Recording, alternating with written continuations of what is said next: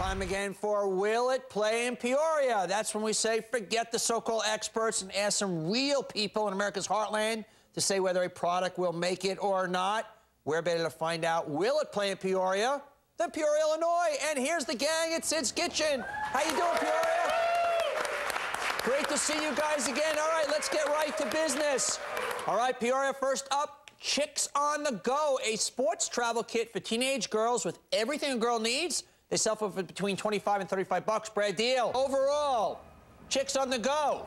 Will it play in Peoria? Overall, the voting crowd said at 54% no, which I think is a travesty. so you're going on record. You don't you don't go with the mob, right? But overall, I'm sorry. Next up, Etch-It cups, perfect for a party. You peel off the little labels, scratch your name on the cup. You'll never pick up, pick up and mix the wrong cup again.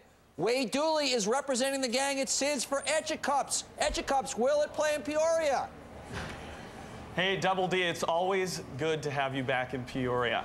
But uh, just to talk about this product, it is a great product. Talked to a lot of people here in the store, called a lot of my friends. I am a college student at Bradley University here in Peoria. I've been to a party or two. These cups could come in handy. You know, it is cold and flu season right now, and nobody would want to catch the cold or flu by drinking out of somebody else's cup.